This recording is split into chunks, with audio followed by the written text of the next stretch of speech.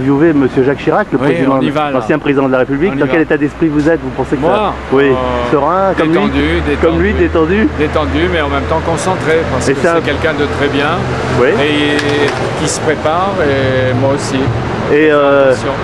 Et euh, vous le vous, c'est important ces mémoires, c'est quelque chose d'important pour lui Oui, il faut les lire. Vous savez, moi j'ai lu les mémoires de Mitterrand, de Giscard, de De Gaulle. Eh oui. C'est pas la même chose que De Gaulle, mais euh, de, de tous les grands leaders, de Védrine, d'Attali, tous les témoins de l'action politique des grands. euh, eh bien, ces mémoires de Jacques Chirac sont dans cette même ligne. Il Ah faut oui. le lire. Lui dit sa part de vérité, sa part de responsabilité.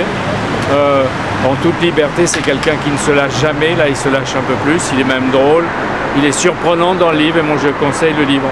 Euh, et je le dis sans flagornerie, je m'en fous, j'ai aucun intérêt. Ouais. Mais c'est ceux qui aiment l'histoire, ben, ils trouveront des portraits, des Oui. personnages. Et il a perdu sa virginité dans la Casbah d'Alger, c'est Dans ça la Casbah d'Alger, une nuit. Une nuit